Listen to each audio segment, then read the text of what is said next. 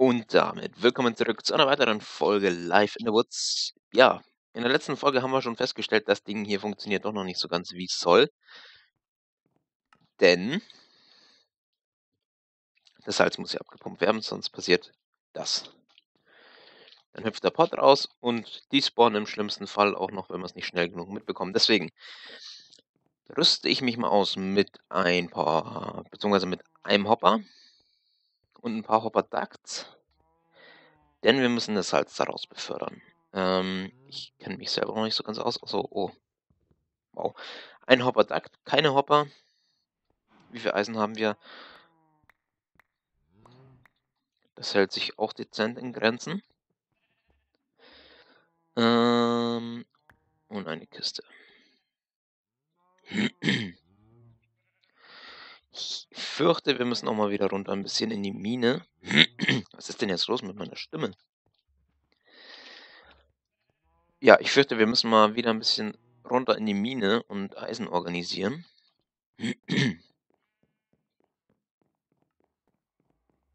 Irgendwie mag mein Hals gerade nicht so ganz. Verzeihung. Okay. Ähm, das hier müssen wir anders lösen.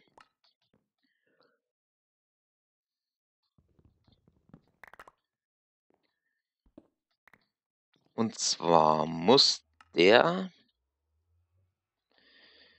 hierhin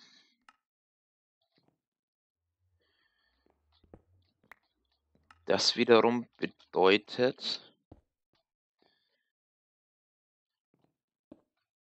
so dann saugen wir hier erstmal alles ab. Entschuldigung. Und hier müssen wir dann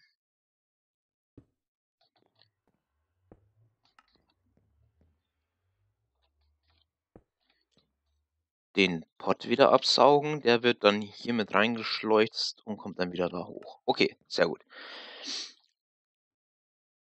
Das Ganze kommt irgendwann zum Blockieren, das ist richtig, da gebe ich euch vollkommen recht. Packen wir hier jetzt erstmal die Kiste hin oder so. Das Ganze wird irgendwann blockieren, keine Frage. Aber wenn es blockiert, hängt es einfach in den Hoppern fest und fliegt nicht irgendwo raus. Das ist der Vorteil. So, und hier hatte ich mir noch überlegt, einen Schalter einzubauen, mit dem man das ganze Ding stoppen kann, wenn es wirklich mal voll sein sollte. Ich hau das jetzt mal alles hier rein. Zack. Wenn es wirklich mal voll sein sollte, dass wir einfach einen Schalter betätigen können und dann irgendwas passiert.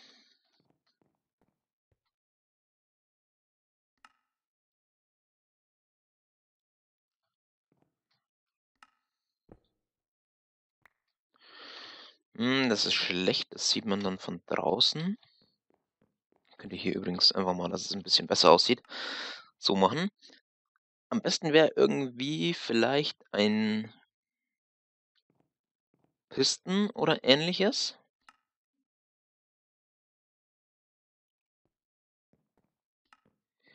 Der theoretisch ja auch einfach nach oben fahren kann.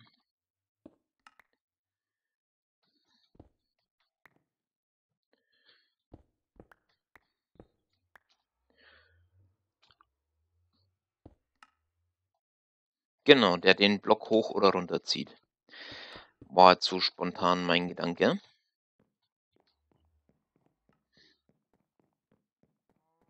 Das heißt, wir organisieren uns mal eben einen Pisten.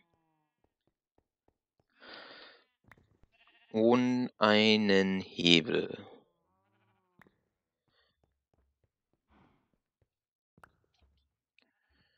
Den setzen wir noch kurz zusammen. So, zack, ein Hebel. Und dann vielleicht einfach nur, dass wir es haben, den mal hier rein und wieder rausnehmen, damit er gespeichert ist, wo er gelagert werden soll, wenn wir mal ein paar haben. Und dann diesmal, es ist ein falscher Pisten, ich brauche einen Sticky Pisten. Ich brauche einen Sticky Pisten. Zack. So, jetzt aber. Na, vielleicht noch Haben wir noch den einen? Nein, haben wir nicht. Haben wir noch normalen Stein? Einen. Wow. Ach, hier habe ich die Bricks. Stone Bricks. 41. Die nehmen wir mal kurz alle mit. Das Redstone werden wir eher weniger benötigen. Und dann können wir oben nämlich noch kurz ein bisschen das vernünftig bauen. Ja, hier sollte ja ein Licht rein. Das werden wir auch gleich mal machen. Wir werden in dieser Folge einfach so ein bisschen die übrigen offenen Baustellen noch fertig machen. Der muss dann quasi dahin. Genau. Und dann würde ich nämlich... Was haben wir denn drüber überhaupt? Das steht noch nicht so ganz fest, gell? Würde ich hier den Hebel hinmachen. An, aus. Perfekt. Sprich, wenn wir den jetzt hochfahren, kommt hier das Signal zwar durch, der Eimer wird aber nicht befüllt, sondern der wird erst wieder befüllt, wenn wir hier wirklich den Block runterfahren. Okay, perfekt, das sieht doch schon mal ganz gut aus. So, dann machen wir hier jetzt einfach nochmal hoch, ist ja egal. Das lassen wir einfach so als kleinen Aufstieg. Kann ich diese Schaltung hier irgendwie noch ein bisschen komprimieren? Ich glaube nicht. Ich glaube nicht. Die ist schon sehr komprimiert. Ja. Okay. Gut, aber das passt soweit eigentlich erstmal alles. Dann kümmern wir uns jetzt noch kurz hier um die Küchenlampe. Und zwar machen wir da eigentlich dasselbe Prinzip wie hier unten auch, würde ich vorschlagen. Ich packe mal eben die Steine hier rein, zack. Äh, wir benötigen ein Carpenter Block, den haben wir hier. Ein Spruce Wood und ein Glowstone, den wir uns aber noch zurechtschüsseln. Den hier hätte ich gern. So, dann können wir unseren Schlüssel auch wieder wegpacken. Und die Lampe einbauen. Dann haben wir das nämlich auch endlich mal hinter uns. Und dieses blöde Loch hier ist gefüllt, mit dem ich immer wieder nichts anfangen kann. Zack.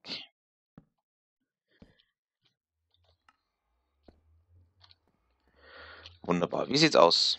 Na, es ist nicht ausreichend ausgeleuchtet. Wie wär's denn, wenn wir das hier machen. Haben wir hier immer noch ein bisschen Defizite, gell? Hm. Wieso kann denn hier überhaupt, weil es Planks sind? Wie wäre es denn, wenn wir hier einfach äh, Slabs einziehen an den entsprechenden Stellen? Dann spawnt da nämlich auch nichts mehr. Hier und hier. Dann leihen wir uns mal ganz eben die Werkbank. Zack.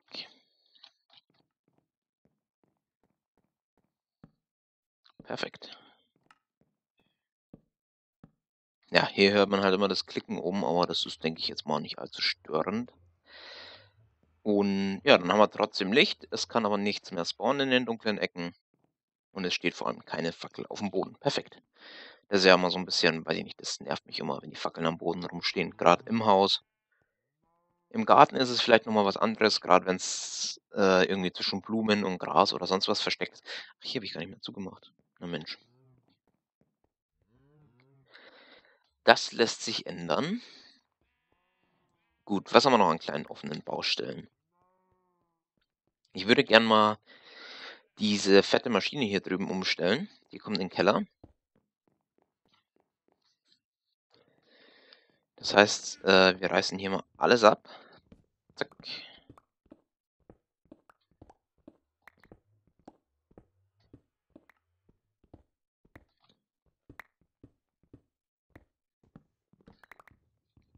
Zumal wir eigentlich eh nichts mehr brauchen, was uns ähm, die Netherbricks herstellt, also vorerst zumindest. Hier hinten kommt ja der Braubereich hin, deswegen stelle ich hier schon mal eine Kiste hin. Mit dem Zeug für die Brauzutaten. Halt, da haben wir noch eine Waterbottle.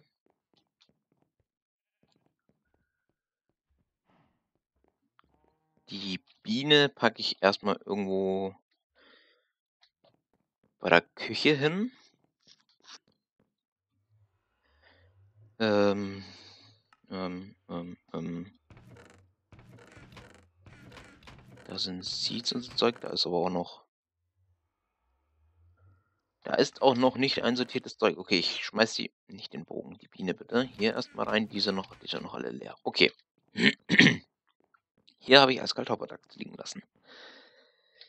Okay, ich weiß jetzt nicht, ob wir diese Maschine wirklich einfach schon wieder hier so eins zu eins aufbauen.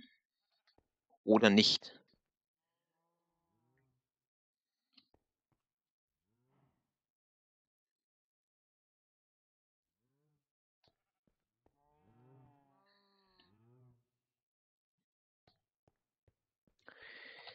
Ich glaube auch, wir werden diese Kisten nochmal verschieben.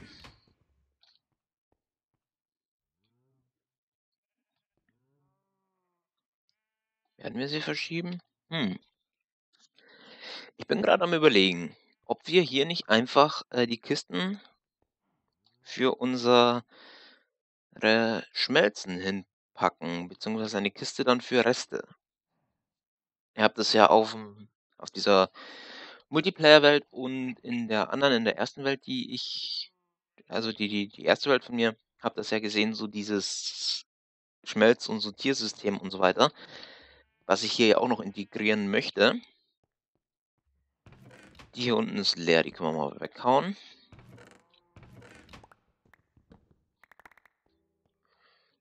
Und die nehmen wir jetzt einfach auch mal kurz mit. So, den ganzen unnützen Kram schiebe ich mal darüber. Okay, das sollte es gewesen sein. Das Buch können wir auch erstmal da lassen. Zwei Lava einmal mal. Hier ist auch noch was. So. Hier ist auch noch was. Zack. Gut.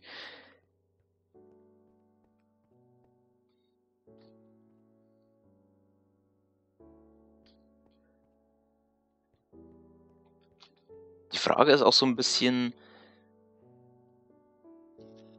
wie wir das Ganze machen. Wir nicht einfach, na gut, da kommt dann so das ganze Laserapparaturzeug hin von Buildcraft. Ich würde hier vielleicht wirklich dann schon gerne den großen Ofen hinpacken und hier den kleinen. Das wiederum bedeutet, dass die Fackel weg muss. Aber auch wenn ich hier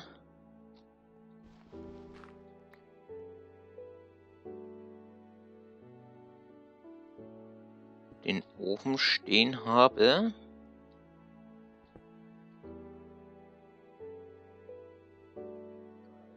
bedeutet das im Klartext, dass es funktionieren könnte, wenn wir hier die Kiste für die kleine Schmelze entspeisen. Ja, ich habe die Kisten halt gern nebeneinander. Vielleicht kriegen wir das auch noch ein bisschen anders gelöst. Wenn wir die Tür einfach versetzen.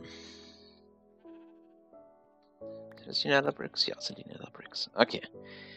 Äh, zum Beispiel, ich habe auch das Bett hier mal hingestellt, so provisorisch. Das packen wir vielleicht mal dahin.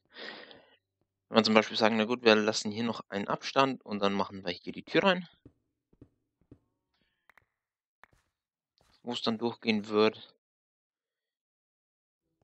Dann können wir hier nämlich zumachen. Dann hätten wir hier 1, 2, 3 Plätze nebeneinander.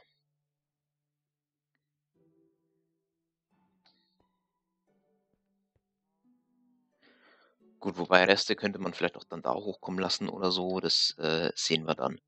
Okay, das heißt, Ausgang für die kleine Schmelze, beziehungsweise Eingang, wäre dann meinetwegen vielleicht hier. Hier dann für die große Schmelze. Das bedeutet, wir hauen den hier weg. Und hauen den hier weg.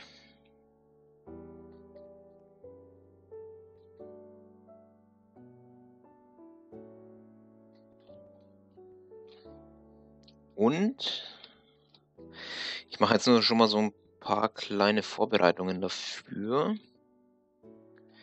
Der Ofen würde hier stehen.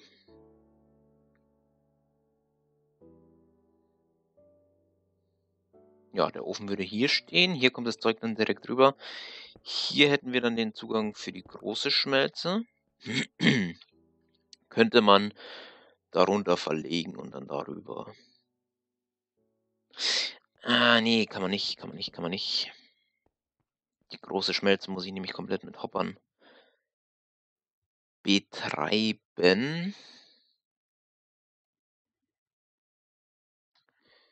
Das heißt, es wäre vielleicht gar nicht so. Okay, pass auf, das machen wir anders. Wir machen hier große Schmelze. Und wir machen hier einfach so kleine Schmelze. Wie wäre es denn damit? Dann machen wir hier zu, beziehungsweise damit es in Bezug auf die Tür symmetrisch ist, machen wir es so. Und dann muss der hier weg. Dann käme die kleine Schmelze quasi dorthin. Genau. Dann saugen wir hier ab, gehen oben direkt rein. Nein, gehen wir nicht. Gehen wir? Gehen wir nicht? Gehen wir nicht. Gehen wir nicht. Außer wir machen es hier einfach auch direkt mit Hoppern. Und Hopper Ducts, das würde natürlich gehen. Okay, perfekt. Das bedeutet, wir brauchen eine Menge Hopper, eine Menge Hopper Ducts. Das wiederum bedeutet, wir brauchen eine Menge Eisen, die wir gerade aktuell noch nicht haben. Das bedeutet, wir müssen in die Dinge runtergehen, in die Mine. Ähm, wie, genau, so, danke schön. Was wollte ich jetzt gucken? Ich wollte... Was wollte ich denn jetzt noch? Ach ja. Ein Clipboard. Papier, eine Pressure Plate, Feder und ein Inksack.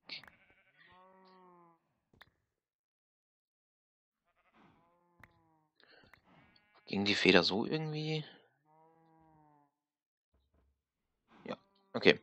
Äh, Feder, Inksack. Papier und eine Holzdruckplatte. Ähm, okay, wir haben, war gut. So, dann machen wir uns nämlich mal eben fix ein Clipper. Äh, was? Ach so, die Feder. Die Feder fehlt. So. Das hängen wir uns dann mal dahin. Da haben wir jetzt dann nämlich eine wunderbare To-Do-Liste, auf die jetzt äh, mal folgendes kommt. Kleine Schmelze, Schmilz, was, Schmelze, okay, nein, ähm, Schmel Schmelze.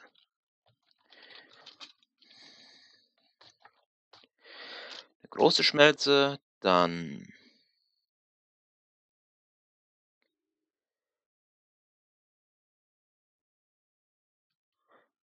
brauchen wir dafür Eisen. Na, heute habe ich es aber. Und was brauchen wir dafür noch? Eigentlich nichts. Doch dafür brauchen wir auch Pipes. Ich weiß nicht, haben wir haben wir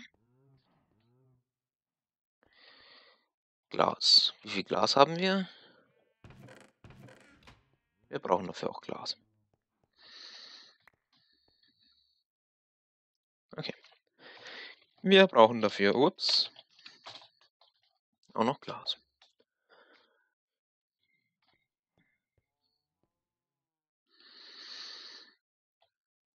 Redstone, das haben wir dann alles. Die Öfen sind dann auch klar. Genau, aber das ist erstmal so grob das Zeug, was wir dann dafür brauchen. Wo haben wir denn unseren? Der steht hier irgendwo, der steht hier. Perfekt. Ja, das ist eigentlich ganz gut. Ich markiere mir das mal ganz kurz hier so. Zack. dass ich dann weiß, dass wir da rein müssen, denn wir werden eine Pipe entlang unten legen, die dann diesem Dingens das Zeug aus den Öfen zuführt, dass es hier automatisch einsortiert wird. Okay, das soll es dann aber von dieser Folge auch schon gewesen sein. Es waren jetzt so ein paar Vorbereitungen für unseren Technikraum. Und in der nächsten Folge werden wir entweder in die Mine gehen, ich weiß noch nicht, ob ich das in eine Folge packe, oder dann uns schon direkt unserem Technikraum hier widmen. Ich hoffe, es hat euch gefallen. Und wir sehen uns dann in der nächsten Folge. Bis dahin, haltet die Ohren steif.